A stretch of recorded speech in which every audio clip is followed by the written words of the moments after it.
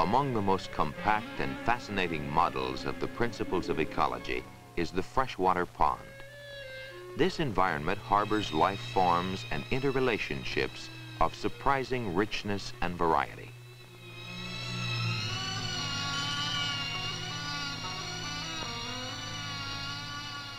As with all ecological systems, the base of the food supply in a pond is plant life.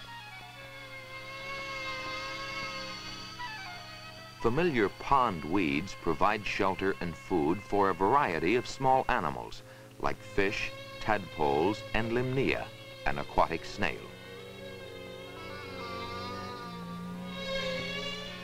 All life in the pond plays a part in a complex exchange of food energy, sometimes called a food chain.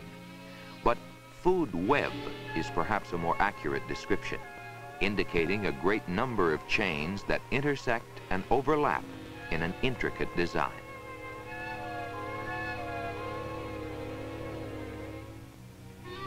The larger, more conspicuous plants in a pond are but a small part of its total plant population, and their role in food production is relatively small.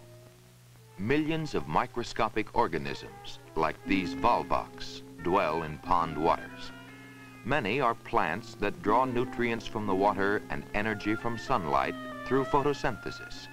Such tiny organisms are by far the most numerous and essential pond dwellers.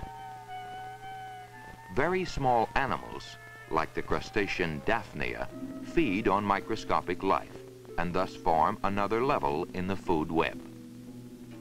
Daphnia, in turn, are the prey of larger animals, including fishes, like the stickleback.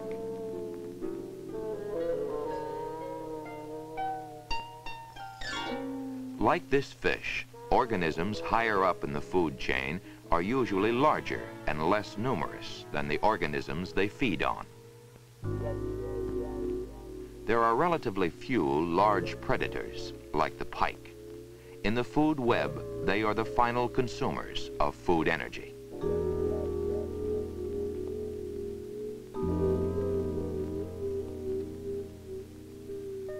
Among the many seldom noticed elements in the pond food web are protists, like paramecium. These tiny single-celled animals inhabit a secret universe of their own. Many are efficient scavengers, feeding on bacteria and refuse, so that even waste matter is consumed and recycled within the food web.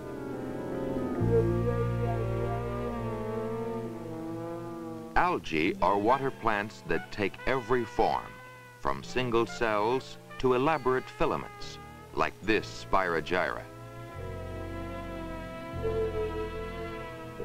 Algae are abundant and the primary food supply of many animals, including newborn tadpoles.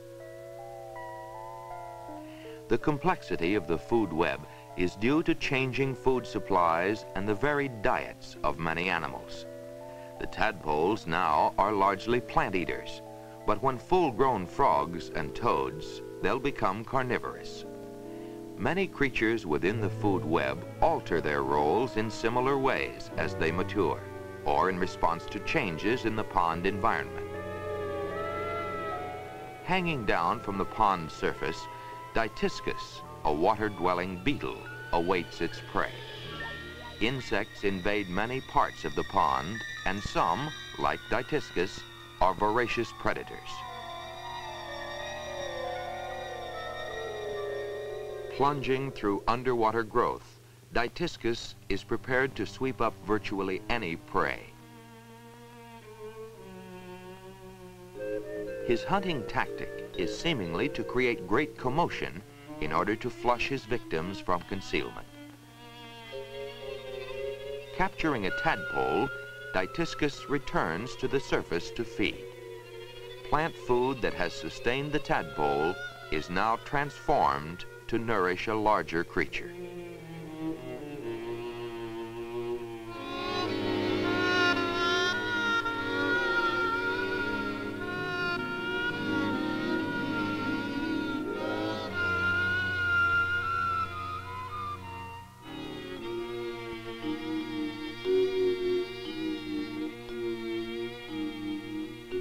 An aquatic snail is also prey for Dytiscus. So the food web may be followed from plant to microscopic animal to insect and eventually to a fish or water bird, which may in turn consume Dytiscus. Below, the pond bottom receives a constant rain of nourishing debris. Daphnia may swarm here in large numbers, and small scavengers, like Corixa, sift through the mud in search of plant debris.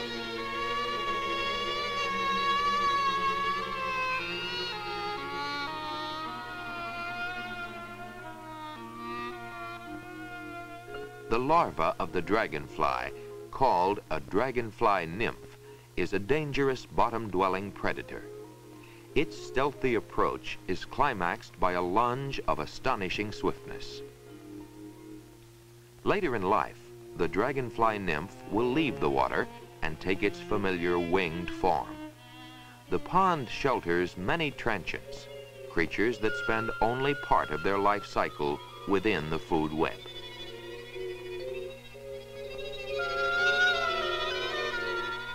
In a world of eat and be eaten, a pond is the scene of constant pursuit and ever-present danger.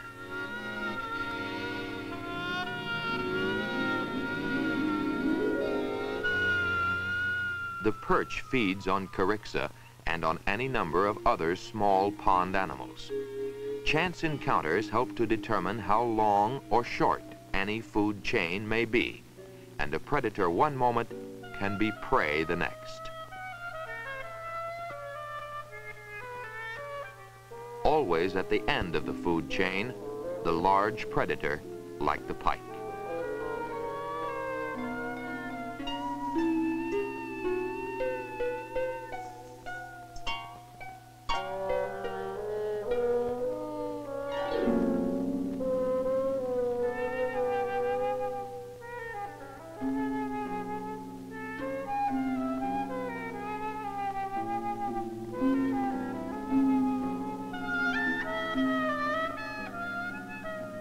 Few creatures can harm the pike except for man and larger adult members of his own ravenous species.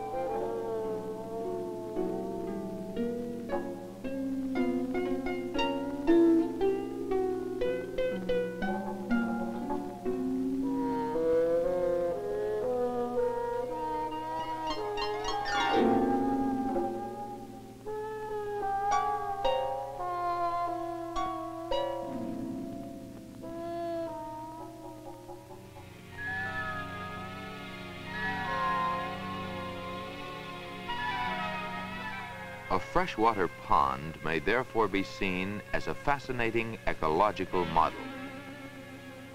The shape of its food web is ever-changing in response to the seasons and to other factors in the pond's environment not always visible to the naked eye.